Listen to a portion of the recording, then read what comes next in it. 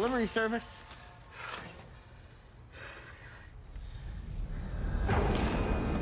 So we got uh, some good news and some bad news.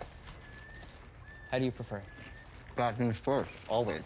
All right, bad news. We tapped into the Hawkins PD dispatch with our Cerebro, and they're definitely looking for you. Also, they're uh, pretty convinced you killed Chrissy. Like a hundred percent kind of convinced. And the good news? Your name hasn't gone public yet. But if we found out about you, it's only a matter of time before others do too. And once that gets out, everyone and their shallow minded mother is going to be gunning for you. Hunt the freak, right? Exactly. So before that happens, we need to find Vecna, kill him, and prove your innocence. That's all, Dustin? That's all. Yeah, no, that, that's pretty much it. Listen, Eddie, I know everything that Dustin is saying sounds totally delusional, but we've actually been through this kind of thing before. I mean, they have a, a few times, and, and I have once.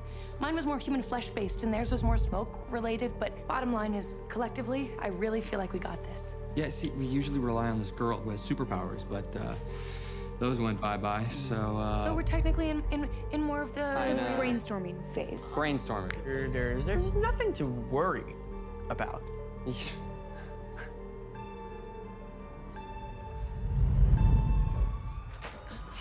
Tarp. Tarp, tarp.